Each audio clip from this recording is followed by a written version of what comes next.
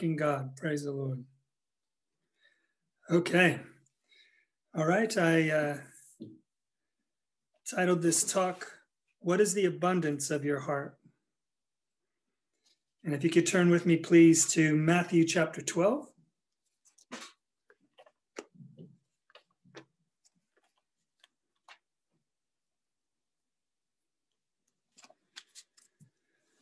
And in verse 33.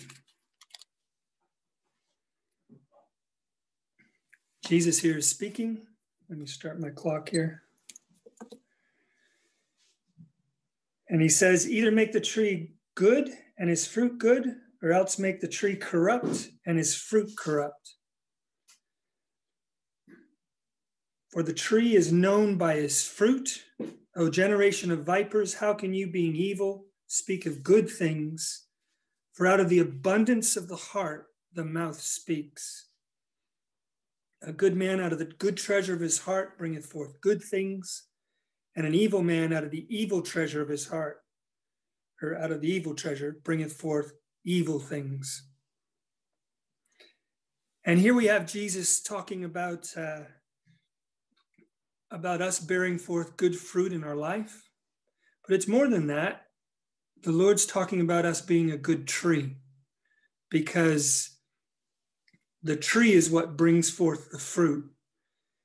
And and we need to make sure in our life that that we are that tree on good soil, our roots sinking deep into the word of God, into Jesus Christ. And then the Lord promises that if that's the case, we'll bear good fruit. And uh, and notice he says as well, out of the abundance of the heart, the mouth speaks. And so there's the question what is the abundance of your heart? We can we can gauge how our heart is doing. And this this verse reveals how we gauge it.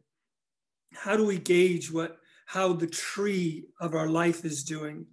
which of course is going to bear that good fruit if we're firmly established in Jesus Christ, then we're going to bear good fruit.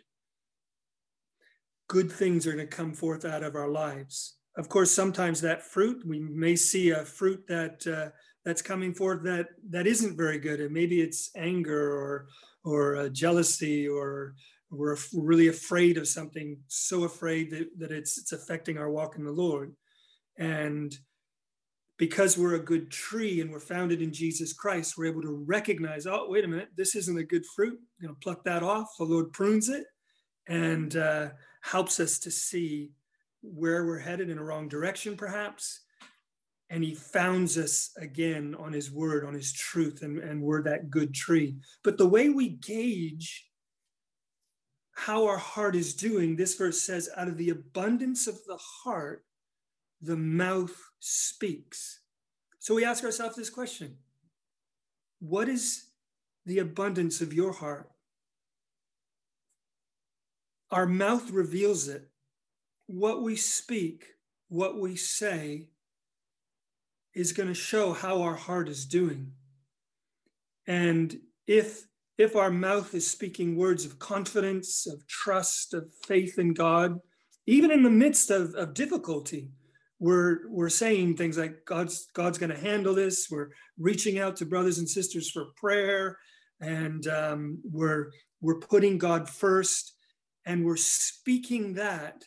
That reveals the condition of our heart, and and I I find that such an amazing thing that uh, I can see my brothers and sisters, and uh, like I see all of you here on Zoom, and I can I can just think of your testimony and I, and I and and the things you have said over the years. We've we've been with each other for a long time, and and I can think of of the things you've said in your testimony and just things you've shared. And what I see is the abundance of your heart, an abundance that shows a, a, a love for God, a desire for truth, a, de, a desire to serve the Lord, and and and in in in doing so, in showing each other that abundance as we speak, we're encouraging each other. We're encouraging each other to, to be that good tree that's going to bear the good fruit and, and, and honor the Lord in all we do. And so this is how Jesus said, a good man out of the good treasure of his heart brings forth good things. The good treasure of our heart is serving the Lord. If that's your treasure, if that's your desire, even if you feel right now you're not doing a very good job of it, well, praise the Lord. Praise the Lord. Your desire is to grow. Praise the Lord. Your desire is to serve Jesus Christ, to know him more, to love him, to honor him. That's good treasure. That is good fruit. And, and as we as we just speak that confidence to the Lord in prayer and to each other, we're encouraging one another to, to be on that good foundation of Jesus Christ. Let's just see this idea as we move on a little bit. Go, go to Proverbs 4, please. Proverbs chapter 4. Down in verse 23. Keep thy heart with all diligence, for out of it are the issues of life. We've just read that Jesus said, out of the abundance of our heart, our mouth will speak. What is the abundance of your heart? Keep thy heart. That means guard your heart. The heart here is not just speaking about the heart that pumps blood in our body. That's that's not what's being spoken of here. Back back in uh, when when the uh, people heard Jesus use the word heart, they would have known that this this this word means the if you look it up in your concordance, it'll it speaks speaks speaks of our soul, our mind, as the foundation of our of our thoughts and our feelings, our passions, our desires, um, affections, that type of thing. It includes our soul, our emotions, all of that is our heart. We have to guard our heart with everything we have because this world is trying to pull us away from the things of God and pull our heart towards other things, pull, pull our emotions, our feelings, our, our desires, our hopes towards anything but God. That's the way of this world. And, and we have to be aware of that. And so we guard our heart, the scripture is saying, for out of it are the issues of life. This word issues is really amazing. I was looking it up and and when it comes up in other instances, it's it's talking about borders. It talks about the the issue being like the the borders of different lands as you look it up. And so if you it's this idea of borders, our heart, our emotions, our feelings, we have to give them borders. The border that we give our life is right here. It's the word of God. It's the word of God that that puts a brake on our life and says, "Ha, wait a minute. No, don't go down that road. Don't go down the road of seeking power or um, or seeking the things of this world. That's an empty road. And so we let the word of God be our border and to give us good advice and good direction. Praise the Lord. And and so, in right along the lines of what Jesus was saying, out of the abundance of heart, your of your heart, your mouth will speak. Look at the next verse. Put away from thee a froward mouth, and perverse lips put far from thee. Amazing, isn't it? Jesus is saying, our words show the abundance of our heart. This, this verse in Proverbs, written by Solomon thousands of years before Jesus came on this earth, He's saying a very similar thing watch your mouth, right? We get filled with the Holy Spirit, the Spirit of the living God. As we turn away from our sin, we get baptized and we're filled with the Holy Spirit. Notice, notice the Bible doesn't just say we're filled with the Spirit, it says you're filled with the Holy Spirit, set apart from the things of this world, which means that our, our life and our words must show that the Holy Spirit of God is inside of us, right? And so if I'm at work and my friends are talking, uh, and the guys at work, they're they're talking and they're tossing in their cuss words and everything. What do I do? Do I join in? Do I just cuss right along with them and and uh, and and make myself no different to this world? No, I don't, uh, and I don't want to. I make a stand for the Lord. I let I guard my heart. I let the word of God be a border of my life and and and I I show that I'm different. And uh, and sometimes people say things like, "Oh, Ward's here. Um, we can't say that." And because they they know what they're doing in the speech, they're talk talk talking is trash talk, and I'm not a part of that. But praise the Lord.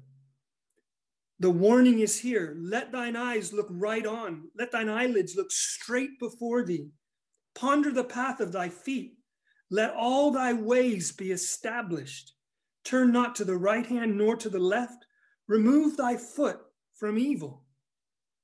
Out of the abundance of the heart, the mouth speaks. And with that, there's the desire of, I want to do right. I want to please my dad, my father. I want to honor him in everything I'm doing. And if I if I mess up in some way, I, I want the Lord to show me and I want to correct it because I want to walk hand in hand with my Father. And, and I want the abundance of my mouth to honor the Lord. I go in people's homes and they say things like, this is when I'm, I'm working on their refrigerator. And they say things like, aren't you scared to go in people's homes? And uh, because of COVID and everything, I say, no, I, I trust the Lord. He's, he's with me. No matter what happens, he's with me. And uh, I'm going to praise the Lord regardless of what happens. And the Lord's my hope. And sometimes it gives me a good opportunity to preach the gospel to him as well. Praise the Lord. Let's allow our words to honor the Lord in all we're doing. Praise the Lord. Let that be the abundance of our heart. I think of uh, our brother Daniel, and uh, he, he, he, he mentions in his testimony how how during the time when his family was going through a real crisis, a divorce, how he was he was having a difficult time, but he just kept seeking the Lord. Little by little, it was hard for him. His health was was giving him a very difficult time, but the abundance of his heart shone through. And he he just kept saying, and in his testimony, as, as he gave it a few times during during during that time, you could see the abundance of his heart just wanting to serve the Lord and honor the Lord. I remember there's a, there's a few times at meetings where Daniel was there and I knew he was, he was all that he was going through and we all did. And he steps out in the gifts and I, I just couldn't help smiling that, uh, that here is his desire to serve the Lord, to uplift brothers and sisters. And he steps forth in the gifts in the midst of all he's going through. And the abundance of his heart speaks. Praise the Lord. Such a such a great uh, thing that the Lord does in our life that that we can encourage each other by our words, by that by that abundance in our heart. Doesn't matter how old we are, doesn't matter how long we've been in the Lord, doesn't matter how many scriptures you know. We can let the abundance of our heart come forth, and we can speak to our friends and speak to people we work with and tell them Jesus Christ is alive. He loves me. He's inside of me. I have the Holy Spirit.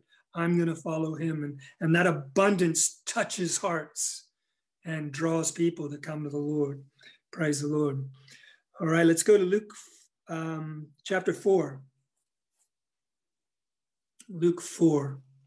We're going to see here the abundance of Jesus Christ as he was in the synagogue just as he was starting his ministry on earth. And he stands up in the synagogue. He's, he's given a, a scroll whatever they had back then, to uh, stand up and speak and look at the abundance of, of, of his heart speaking.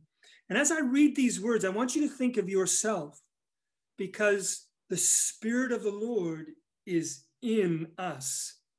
The same Spirit that was in Jesus that enabled him to speak right now, these words, is in you and you and I. Excuse me. Praise the Lord. Verse 18 The Spirit of the Lord is upon me because he has anointed me to preach the gospel to the poor, the good news to the poor. He has sent me to heal the brokenhearted. This is you and I, the same spirit that's on Jesus standing up in the synagogue is within us. As we just go about our day, whatever we're doing, this same Spirit is within us. And let's let the abundance pour forth from us. We, this same Spirit has anointed us. We have good news, the gospel, to speak to the poor. He sent me to heal the brokenhearted, to preach deliverance to the captives, recovering of sight to the blind, to set at liberty them that are bruised, to preach the acceptable year of the Lord. He closed the book, gave it again to the minister, sat down, and the eyes of all them that were in the synagogue were fastened on him. You just can imagine, you probably heard a pin drop in that place. And he began to say unto them, This day is this scripture fulfilled in your ears. Praise the Lord. Where we go, people's eyes are fastened on us to see the hope that dwells within us, to see the abundance of our heart. This word abundance of our heart is like an overflowing. It's, it's, it's an overflowing of our heart. What is the overflowing of our heart? This world is trying to get the overflowing of our heart to be that job we're looking for, or to be that, that boyfriend or girlfriend that we want, or, or to seek after the drugs of this world. This is what the world is trying to get the abundance of our heart to be, to, to be leaning towards, to be desiring. No, that's not our abundance. Our abundance is Jesus Christ. Let him pour forth where you are. Let him think about your friends that you know, the people that you work with that you know. Have you poured forth abundance to them? The abundance of the gospel.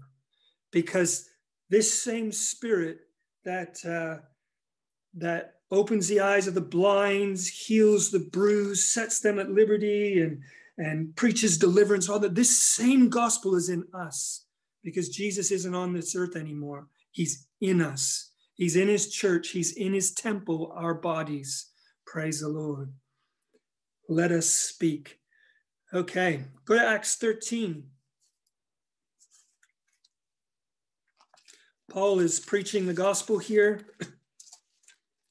He's filled with the Holy Ghost, going about letting the abundance of his heart pour forth. And he comes to this place in verse 6 it says, And when he had gone through the isle unto Paphos, he found a certain sorcerer, a false prophet, whose name was Bar Jesus, which means son of Joshua. And uh, he's probably referring to Joshua of the Old Testament, a great man of faith. But this guy was far from a great man of faith. He was a, a sorcerer. So he was he was um, he was seeking things that are after Satan, not God. And it says, verse 7, which was with the deputy, the deputy of the country, Sergius Paulus, a prudent man, who called for Barnabas and Saul and desired to hear the word of God.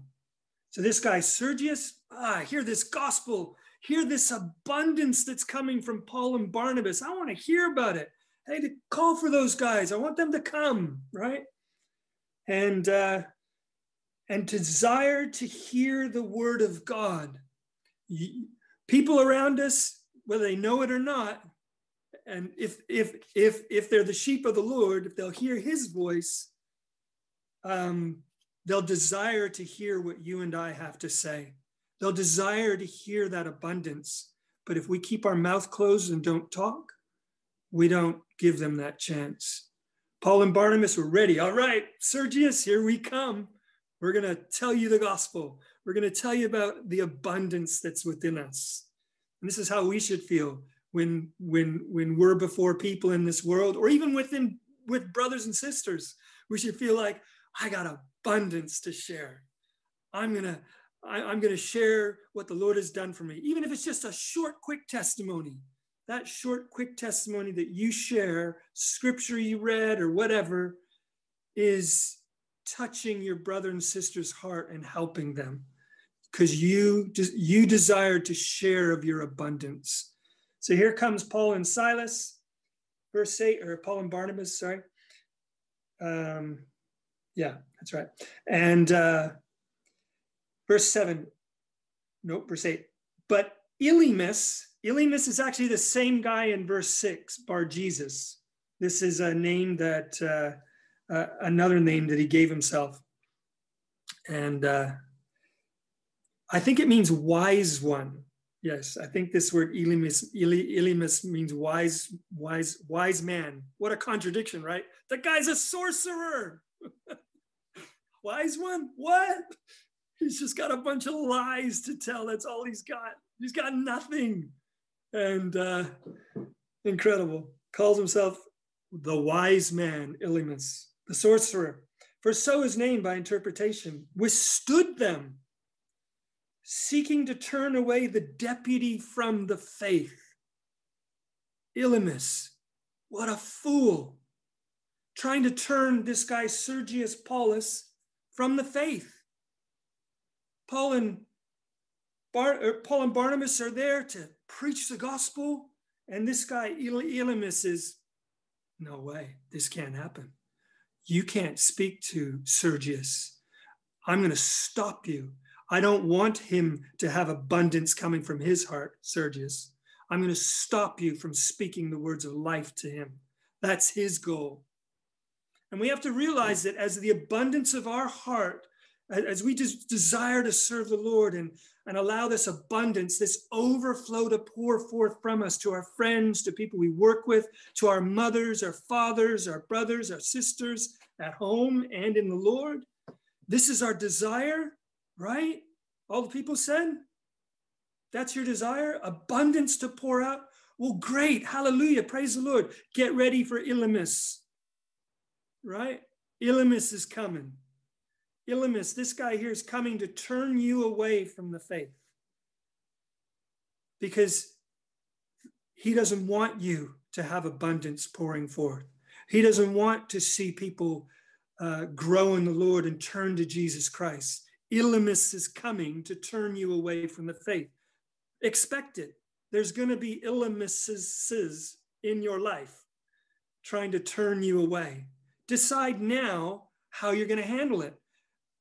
It might be your best friend, you think, but your best friend actually could change their name to Elymas because they're saying things to you that are turning you away from the things of God. They might say something like, if, if you follow this Jesus, I don't want you to talk to me about this Jesus. And if you do, you're not going to be my friend anymore. Well, Elymas, see you later. We can be a testimony to them, make a stand, let them go home and think about it. And maybe your stand will turn them to the Lord. Maybe your stand will turn them away from sorcery, the ways of Satan, which is the way of this world, to God because you made a stand. You desired to have your abundance pour forth to that person so that they could see that you wanted to be a tree founded in Jesus Christ, bearing forth that good fruit, that good abundance, and draw them to the Lord. It may be a week later, they say, you know, I want to come to a meeting. I want to hear about this. It may be five years with m- myself, I came to the Lord in 83. You do the math. I'm not sure exactly what that is this second. And none of my family and friends have come to the Lord. If I let them stop me the first time they tried to say, Come on, Ward, just have a beer and forget about it. Count it up to a good experience you had in Australia back in 1983 in Townsville, and, and let's party on, right? If I let them affect me, I wouldn't be here today. So, regardless of whether they come or go, we have to stand and let this abundance of the Lord pour forth. Praise the Lord. Um, we're going to skip through a story here. Let's go to 1 Kings 3. We're going to turn to a man who, who, um, that, who wrote that Proverbs that we read, Solomon, about remember, guard your heart with all diligence for out of it are the issues of life. If we're not willing to guard our heart, to guard this abundance, and to put a border of the word of God around it, and Satan just comes along and picks us off. And it was written by this man, Solomon, David's son. And when he first became king, in uh, 1 Kings 3, verse 5, it says, In Gibeon, the Lord appeared to Solomon a dream by night, and, and God said, Ask what I will give thee. Solomon was a young man at this time. I've read some things that say when he first became king, they think he was under 20. And so that's pretty young. But um, down in verse 6, um, actually, no, I'm going to skip to verse 9. Give therefore thy servant an understanding heart to judge thy people, that I may discern between good and bad. For who is able to judge this so great a people? When he first became king, God said, What do you want in this dream? Read the whole thing for the sake of time. I'll just give you the brief story. And he says, I just want wisdom, Lord. You fulfilled your word to my father David, and now I'm king. You said this would happen. Here I am. And God was really pleased with this. This is his desire. This is the notice out of the abundance of the heart, the words your the mouth speaks. The abundance of, of his heart is, Lord, just give me wisdom. I want to grow. And this is our abundance. Lord, I want to grow. I want to know you more. Uh, sometimes I think I've been in the Lord for 30 plus years and I'm and I think I feel like I'm there's so much more to learn.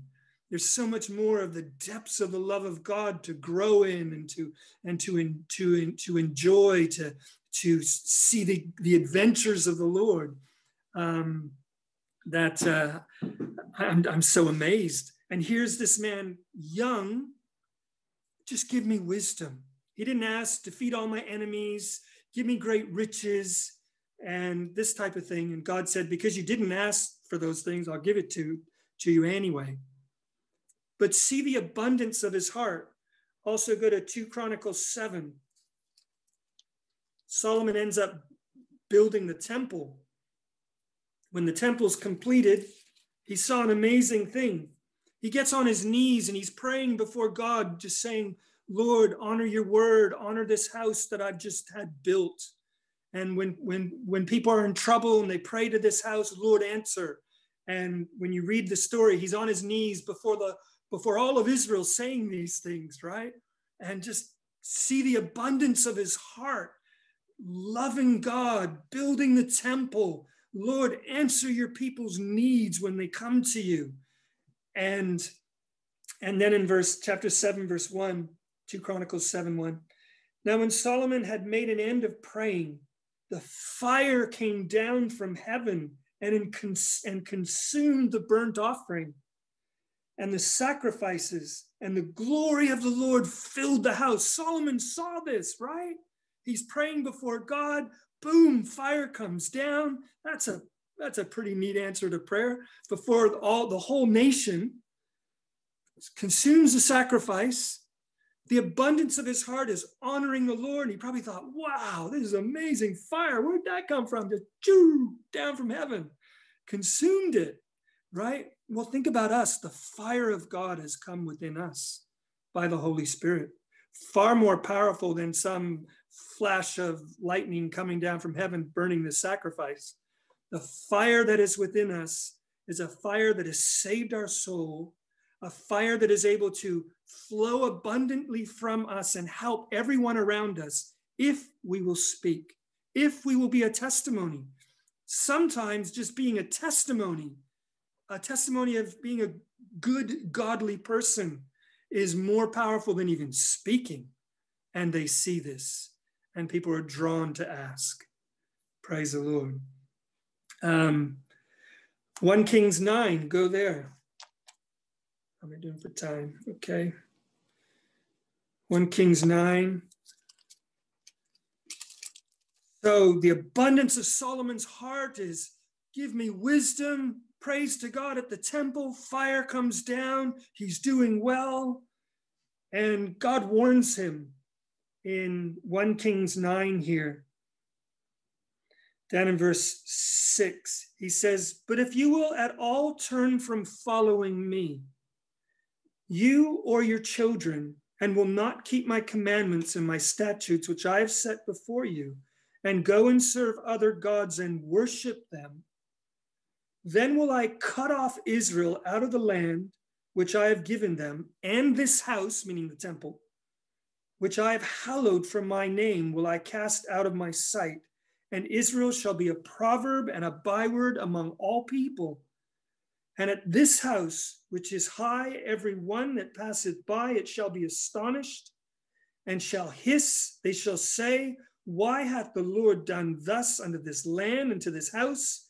And they shall answer, Because they forsook the Lord their God, who brought forth their fathers out of the land of Egypt, and have taken hold upon other gods, and have worshipped them and served them. Therefore hath the Lord brought upon them all this evil. So it came with a warning. Our salvation, our salvation comes with a warning. The Lord says, Walk in my ways. I am coming. Walk in my ways, because if we don't, we'll reap what we sow. If we don't, we'll turn away from the Lord and and it's not it won't go well for us because we'll be in the world where we won't make it when Jesus comes and and just out there in the world on our own, not trusting God, trials and the trials and tribulations still come and we'll fall. The world will, dis- will destroy us. So just as yes, Solomon was the abundance of his heart was pouring forth good things, but God said, That's good. Solomon, that's good. Love me, serve me. Let's have a let's have great adventures. I like thinking each day, by the way. Um, I, I as I walk, I walk my dogs in the morning and I'd be thinking, Lord, I'm I just want to have an adventure for, an, an adventure with you today. And whatever that adventure is, whether it's some a treasure from his word, speaking the gospel, sharing something with saints, I want to have an adventure with you today. Because in the world, what the world calls adventures aren't everlasting. What Jesus gives us is everlasting, good adventures. And but they come with a warning. The Lord says, "Follow me. Let's let's walk together." Praise the Lord. 1 Kings 11, go there. This man, given so much wisdom, the abundance of his heart was incredible. Fire from heaven builds the temple, established probably the most prosperous time in all of Israel. He had great wealth. He turned his back on the Lord. Just incredible.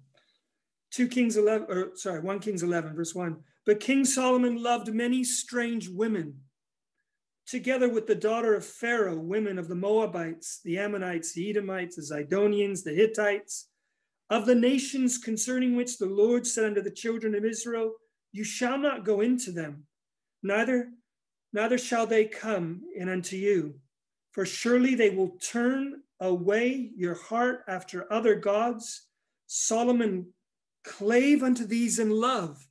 Elymas, remember that dude back in Acts? Elymas, here he is again in a different form, in the form of, of lusting after other women. And Solomon, instead of allowing the abundance of his heart to pour forth to God, right, to pour forth only to the Lord, I want to do what's right in God's sight. He allows the overflow of his heart to go towards other women, to go towards immorality, to be pulled that way by 700 700. He had 700 wives and many other concubines. Just, just can't even imagine that. It's just crazy. But see his abundance. He allowed the abundance of his heart to go towards other things. If the danger is there for him, who wasn't even spirit filled, you and I are spirit filled, but the same dangers are there, the same immorality is there crying out to us from this world, whether it's the pornography or the drugs or the, the party scene, whatever, right? Pulling on each one of us. And you can't allow your, the overflow of your heart to go towards that. It's got to be for the Lord. And it, again, remember the borders? It's like, no way, I don't need that. I need Jesus Christ. I need to walk in the Spirit. I need to love the Lord. And, and when you read on here, Solomon turned to other gods and, and totally turned his back on the Lord.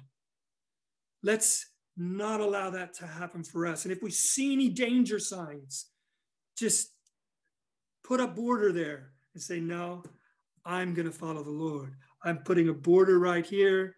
And um, I've, I've spoken to brothers and sisters in, in the Lord who, uh, one sister in particular, I was thinking of, she had some, some guy was coming up to her and, and which is very nice man saying real good things. And, and uh, she's single and, and this guy was saying all these nice things and she was real tempted to follow in in a relationship that way and she put a border up and said no I, am not going to be involved in that. And uh, and was a testimony instead for the lord. Praise the lord. Uh, let's go to acts 13 where are we here? Okay we're getting we're going to close off in acts 13 here. Acts chapter 13 we were there. Down in verse 48. When the Gentiles heard this, they heard the gospel, they heard Paul and Barnabas continuing to preach the gospel, they were glad and glorified the word of the Lord. And as many as ordained to eternal life believed. Paul and Barnabas, they're allowing the abundance of their heart to flow, to speak. This is this will be the result to people that are interested in the gospel, right? It might be your friend, it might be that, that person you work with. They'll be glad if they want to follow the Lord. And if they turn to the Lord in repentance, they get baptized, filled with the Holy Ghost, they're ordained to eternal life. But the word of the and the word of the Lord was published throughout all the region. But the Jews stirred up the devout and honorable women and chief men of the city, the big shots, of the city and raised persecution against Paul and Barnabas and expelled them out of their coasts. Again, right? Elymas coming, coming along and trying to stop them. Persecution. You will be persecuted for making a stand for Jesus Christ. It might not be the uh, the mayor of Fresno or or the big shots of Fresno coming and knocking on your door saying, don't preach this gospel, right? But it might be our close friends or the people we work with. Either way it comes, it might be our family members. Either way it comes, let's stand. Continue saying in our hearts, Lord, I'm going to let your abundance pour forth from my mouth. These people are lost. These people are in sin.